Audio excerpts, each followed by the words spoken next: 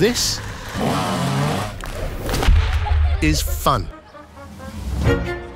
Provided by a travelling entertainment collective that requires a great deal of talent, dedication, and electricity.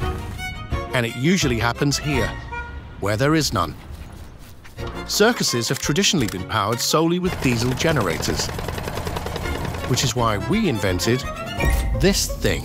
It's called the ZBP45 Modular Energy Storage System. Yes, it's a very large power bank. It uses lithium iron phosphate cells to store and deliver electricity. It's safer, more flexible, and lasts for a long time.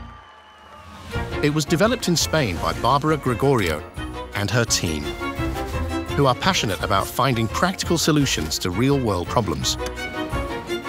Outside of work, Barbara collects subway maps. She has thousands of them. Yet, funnily enough, the city she lives in doesn't have one. Atlas Copco Group, technology that transforms the future.